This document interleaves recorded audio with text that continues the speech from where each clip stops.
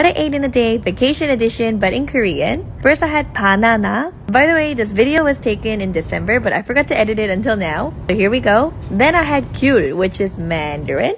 And I got some brownie for the long ride. uni. That's it. And I was on my way to Zion Canyon, so I had nothing around me, and that's why we're eating in the car. And on my way back, I had some taco, which is tacos. And back in Vegas, I had tteokbokki, but if you have noodles in there, we call that lapokki. It's a term for ramyeon and tteokbokki together. This was bomb. Myeon is noodle, tteok is rice cake, odeng is fish cake, after having some food, I went to sing to karaoke. In Korean, we call it 노래방.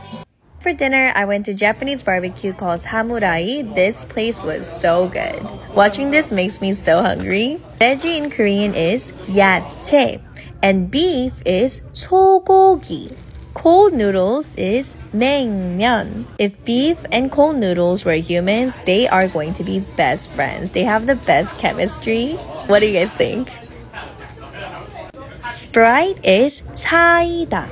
Dessert is 디저트. Dessert here wasn't that great, so you'll see it on my face. And that's it.